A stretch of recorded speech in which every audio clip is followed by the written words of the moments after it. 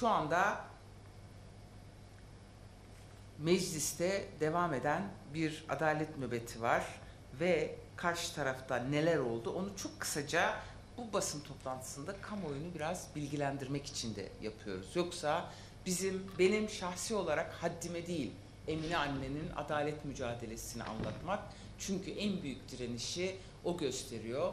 Ben dava dosyasını ve bu dosyanın bilinçli bir şekilde belki tartışılmayan boyutlarını kamuoyunda yaratılan algıyı en azından e, açıklamak için bunu yapıyorum.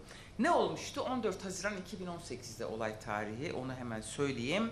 E, bu olay meydana geldi. E, çok sayıda yaralı var Şen Yaşar ailesinden. Onları geçiyorum.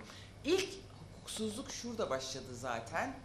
Dava hemen açılmadı. 18 ay sonra iddianame hazırlandı ve hastanede katledilen Hacı Esvet Sen Yaşar'ın cinayet meselesi dava konusu yapılmadı. O da yıllar sonra Emine annenin direnişi sonucunda hastanedeki katliam görüntüleri sebebiyle dava açıldı.